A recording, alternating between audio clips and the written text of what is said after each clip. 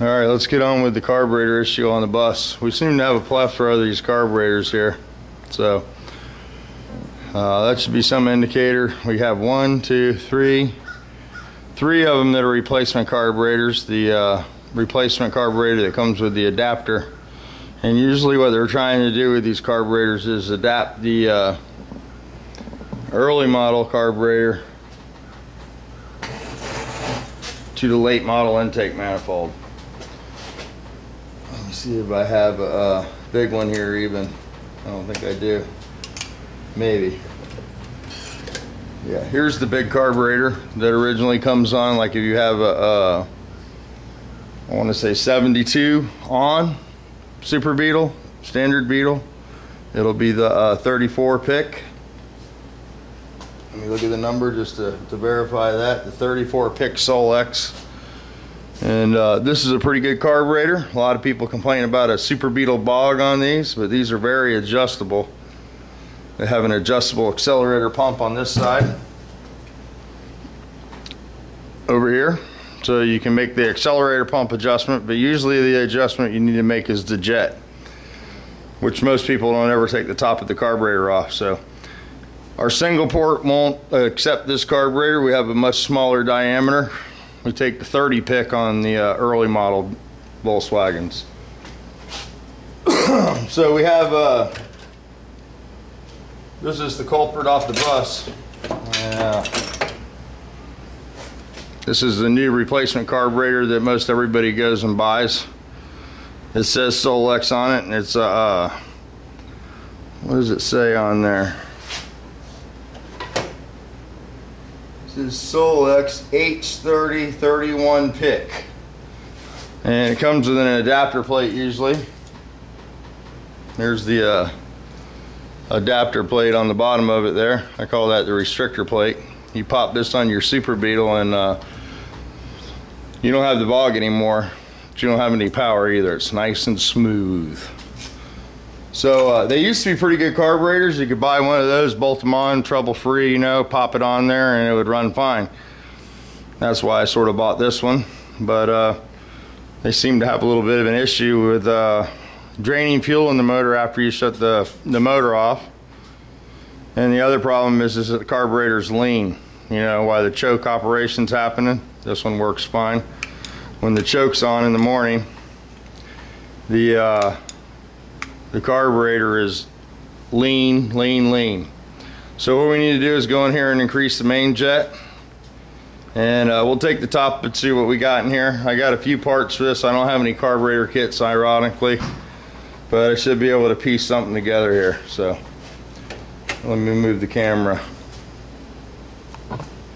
Oh, you need something? I was just gonna give you a message from Ken, if you wait. From Ken? Volkswagen Ken? yeah. What's up? He wants to talk to you about rehabbing a transmission. He said he has two of them and hopefully one is usable. Um, would you be able to help him make one good one? Yeah, just tell him to pick a weekend. Well, uh, I got a kit here in stock, I think. If he just wants to reseal it, we talked about it. Yeah, he said you did. All right, so let's uh we're going to go with this carburetor or not. First thing we'll do is take the top of it off. Now you don't have to take the top to change the main jet. My roll around stool here. Got a couple wrenches. Let me make sure you guys are in frame. Not too bad. I apologize. I'm an amateur at this video stuff. But anyway, it's uh, you pull the inspection plug out right here. It's a 14 millimeter.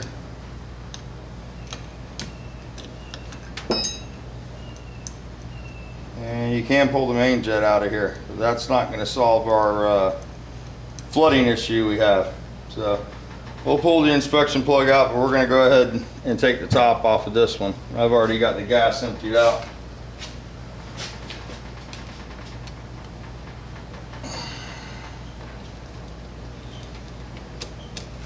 I didn't rejet this, I just put it on the motor stock. Uh, I had mentioned that I'd like to put Kadrons on this, and uh, if I keep it, I'm definitely going to put Kadrons on before I make any kind of road trip.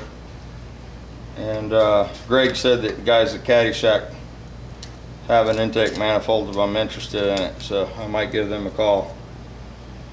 And, but I want to do this first because a lot of guys aren't going to go to Kadrons, you know, you're going to have this carburetor and you have this issue because I've gotten several emails about guys that have encountered this problem. And more guys are going to go out and buy the stock carburetor than get Kadrons. And a lot of times it's because they don't want the uh, trouble of dual carbs. But you still get this headache. So I always say go with the dual carbs even though you have to rejet them. And that's why a lot of times, you know, they don't run good or people will have bad things to say. They'll try to buy them right out of the box. And you can't do that. You're either going to have to rejet the carburetor or you're going to have to have somebody tune it for you because that's the heat issue. So we can see this carburetor is new, but you can see how uh, tarnished the needle and seat is here. It's not in really good shape. The ethanol fuel is attacking the brass. so uh, that's not good. We're going to go ahead and pull that out. We'll have to find a needle and seat and uh, fix that. You can see that's very uh, tarnished. And this is probably one of the main reasons that people are having trouble with the uh, needles and seats sticking not so much the height of the float, but uh, the needle and seat sticking. They do have these shims you can buy or get. That's an aluminum shim and it's twice as thick as the uh, original one, which will lower the float level. I keep those around and they work pretty good. And it just uh, sets your float level down a little lower in the bowl. Keep from sloshing or draining out of the Venturi after you shut the uh, motor off. And what I mean by Venturi is the booster tube here. So I'm gonna take the gasket off, see we got another one of these. Might have one. We've got a top gasket here, so that's good. We'll pull the little dog bone out. That'll let the uh, float come out. Little scribe. All this stuff seems to be uh, reacting to the fuel to me The dog bone's usually not tight in there and uh, this one's tight. And the float just pops out after you get that dog bone out of there. Take that out. You can see the bottom of the carburetor is clean you know we're not having a contamination issue from the tank or anything. So uh, it's definitely a jetting issue. And then the other thing we found was the uh, the needle and seat was corroded from the fuel. The bowl doesn't seem to be being attacked, although it does have a powdery substance in it, you know.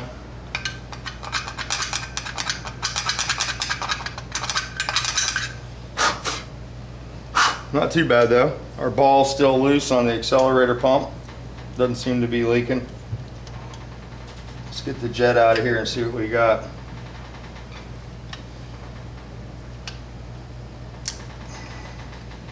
regular screwdriver. We're going through the inspection hole on the side here.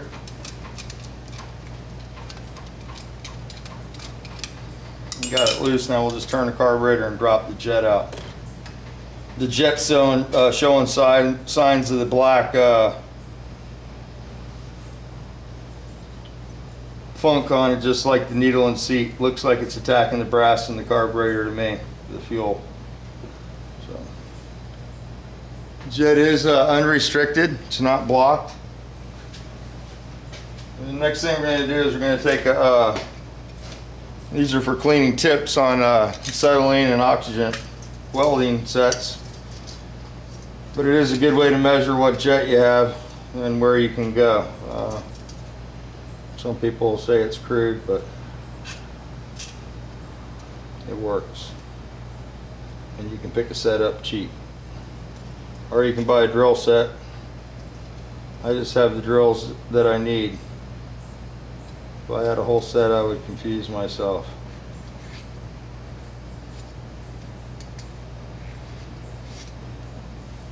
Let's see what we got here. Now this will affect the gas mileage of your uh, gas mileage guy. Probably shouldn't do this. On the other hand, if you leave it like it is, eventually you're gonna get really good gas mileage when it's, uh, no longer running in your driveway from the heads melting off of it. So.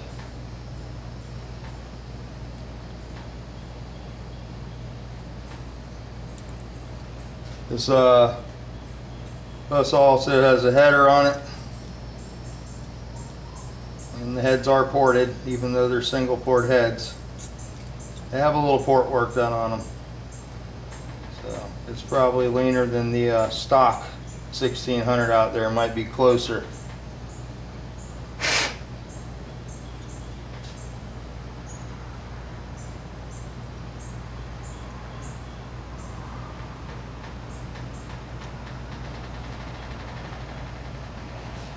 So we'll see what that does for us. This is experimental.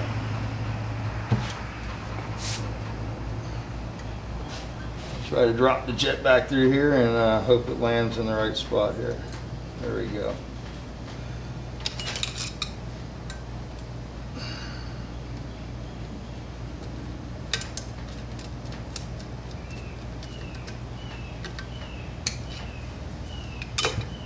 All right, then we need a new needle and seat.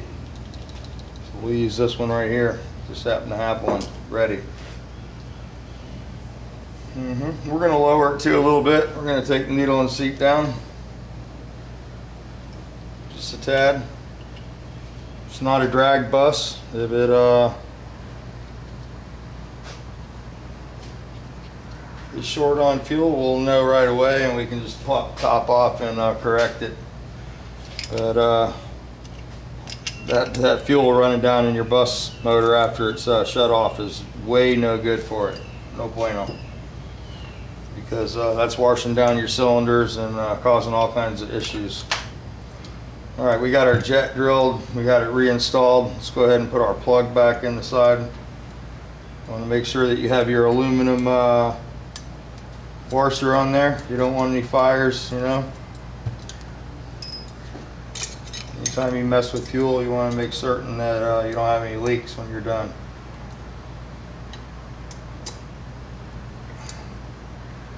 This is a 13 and I have a 14 or a half inch.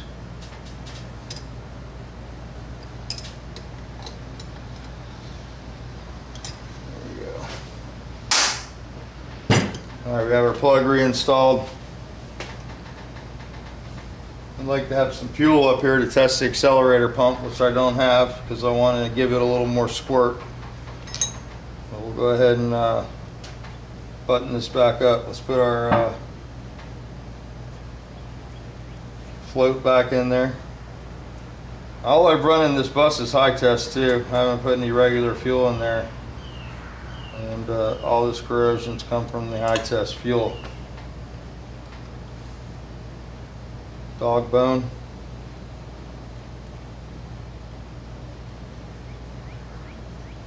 There you go. You can bend the tab on the uh, float if you like to lower the uh, float level that way, but they are very sensitive and they can break. So I find that it's better to shim the needle and seat down rather than uh, mess with that.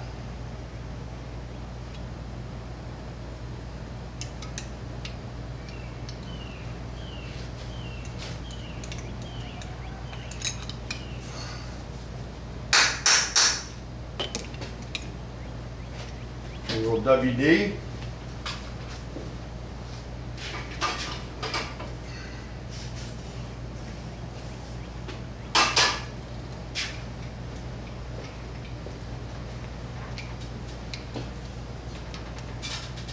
Make sure this choke's working good, nice and free. These get sticky, sometimes you can just tap the end of the shaft there with a hammer. Make sure that's nice and free though, it's important. All right, here we go. Put the top back on, we got the float in there, got the dog bone, got everything in there. Open the throttle up a little bit and uh, put the top back on. Lid, whatever you want to call it. Go, linkage right.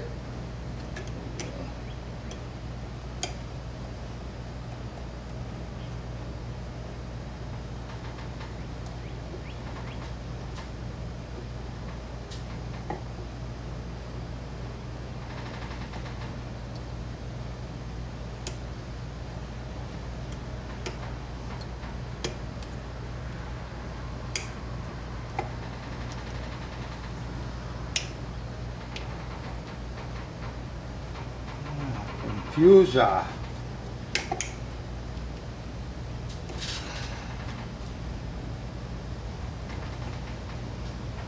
Let's see what's going on with this linkage here. It's always good to have a couple carburetors laying around. And it definitely goes behind this.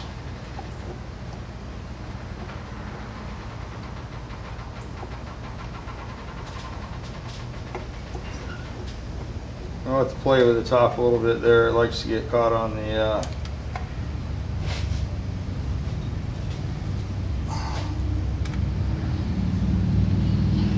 squirter.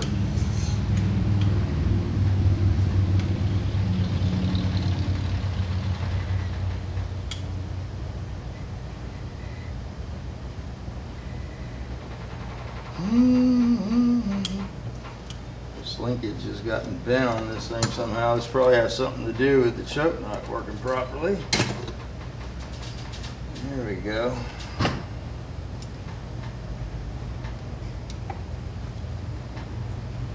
There we go, that's what we want.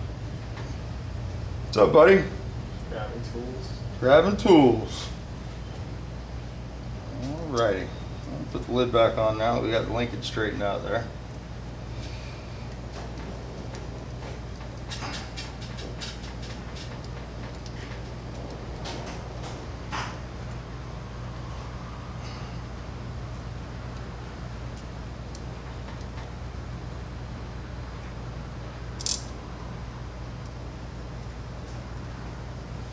Get a spring off one of these other carburetors.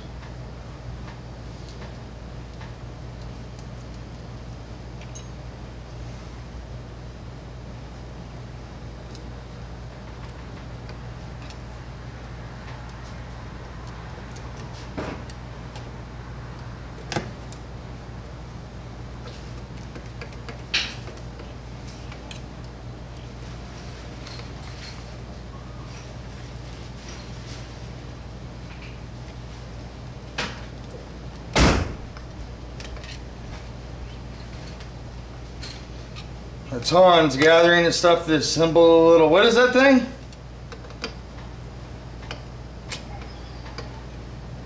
You won't tell me what kind of motor it is.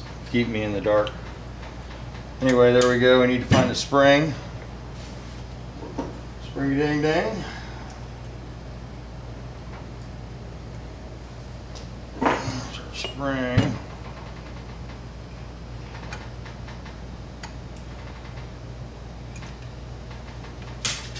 All right.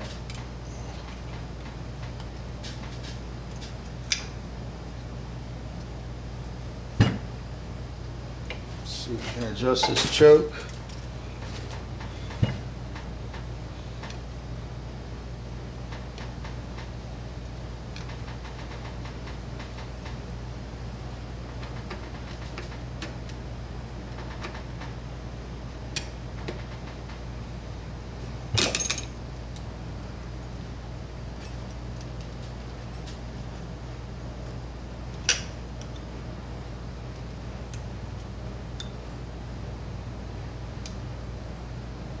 Okay, we got a linkage issue on this baby.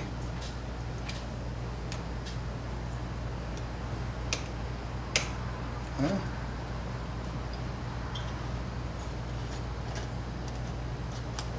There we go.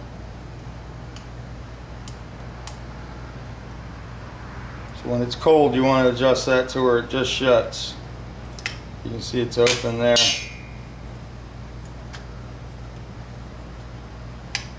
Shut. That's perfect. And this little electric choke, as it warms the coil up, it'll uh, release the spring tension and the choke will open.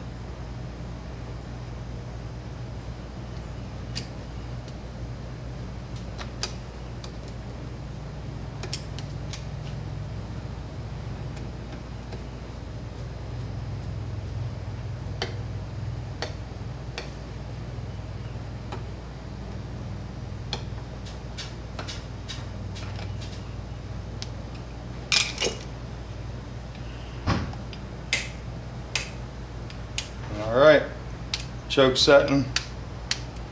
So we'll give this a try, we'll reinstall it, and we'll go for a ride and see if that helps anything. Right on. What's up, buddy? You need assembly lube. Assembly lube? I don't use assembly lube. Really? Really? Look at his face. So it's not just you guys. I don't use assembly lube. Can you give me the face? Why? Why? Well, is there a little Japanese guy that puts assembly lube on it every time you start the motor? No, but it's a good precaution for the first starting. Well, no, I have special oil. Special oil I put on motor for start up. See that? That makes sense. Okay, you put assembly lube, it make motor real draggy. You don't know if something wrong with motor or not. No assembly lube, motor smooth. You feel problem. Assembly lube, motors turn like turtle. How about you come probably put my business together finding lube? I put your business together. There's the lube right there. It says hyper lube right on it. Awesome. So what kind of motor is that we're putting together in there? You ask what's funny? SR20? Yep. What's the other last part that they always throw in there? DET. DET. So building my first SR20 DRT. DET. DET. So I can't even say it, so you know it's going to run good. I'll tell you one thing, it's a sweet little power pack, man. It makes some really good power and it's super lightweight. Aluminum block, aluminum head, five main bearings, super strong. Got a girdle from the factory on the main bearings, all kinds of cool stuff. But anyway, that's another video. So uh, let me turn this off. We'll get that back on. And uh, you Volkswagen guys are going, what is he talking about? So uh, we'll give that a try. We'll give it a test drive and uh, we'll see you guys on the next one.